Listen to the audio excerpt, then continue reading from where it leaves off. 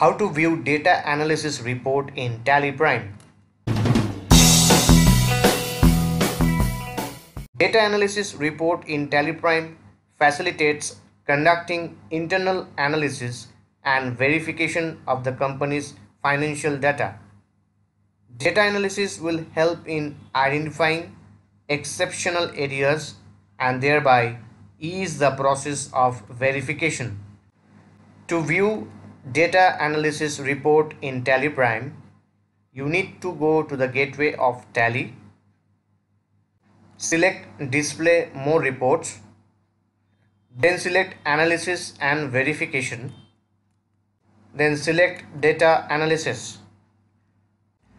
Alternatively, press Alt plus G, then select or type data analysis reports and press enter. The various tools available in Tally Prime for data analysis are verification of chart of accounts. Drill down into this report will help to scrutinize the chart of accounts and compare this with previous year chart of accounts and suggest the necessary corrections if required. Verification of stock items. Drill down into this report will help to scrutinize various stock items and compare the stock items list with the previous year. This will help in taking necessary decisions and provide necessary corrections. Verification of balances. Drill down into this report will help you to scrutinize the difference in opening balances and transaction details during the selected year and suggest necessary corrections based on the exceptions highlighted. The user can also generate the ledger-wise variance report for the closing balances. Analytical procedures. This report can be used to analyze the data based on various parameters by a detailed comparison mechanism available. The user can take off note areas where more attention is required. Pending documents. This report will display all the pending bills, sales orders, purchase orders, and receivables and payables during the analysis year. Periodic payments and receipts. This report provides the list of recurring ledger vouchers based on the periodic ledgers identified by the users. Repeated transactions. Drill down into this report will display the transactions for which the same amount is repeated more than once for each ledger during the analysis year. The user can use this report to check the intentional errors while passing the entries. Relative size factor. Drill down into this report will display the relative size factor for each ledger voucher which is arrived by dividing the highest voucher amount to the second highest voucher amount for the ledger vouchers. Interbank transactions. This report will display all the transactions carried out between the banks during the analysis period. Cash withdrawals or deposits to bank. Drill down to this report will display the bank ledgers from which the cash is withdrawn or deposits are made. This report also displays the total amount of transaction and the number of vouchers through which the withdrawal or deposits are made during the selected year. Fixed assets analysis.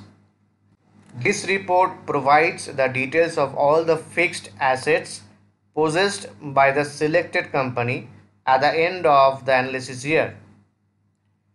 Transaction on holiday. Drill down to this report displays all the transactions recorded on weekly off or declared holidays in the analysis year. Highest and lowest value transactions. This report provides ledger-wise highest and lowest value transactions carried out during the selected period along with difference range and difference range percentage details. Pending advances. Drill down to this report will display the ledgers for which the advances made are pending during the analysis year. Stale check or instruments. Drill down to this report will display the bank ledgers with stale check or instruments. This report also displays the total amount and count of stale checks or instruments. Button options in the report. Press F2 to change the analysis period selected for the data analysis report in TallyPrime. Press F7 to load the company that contains the data for the year prior to the analysis period. Press F9 then select movement analysis and press enter.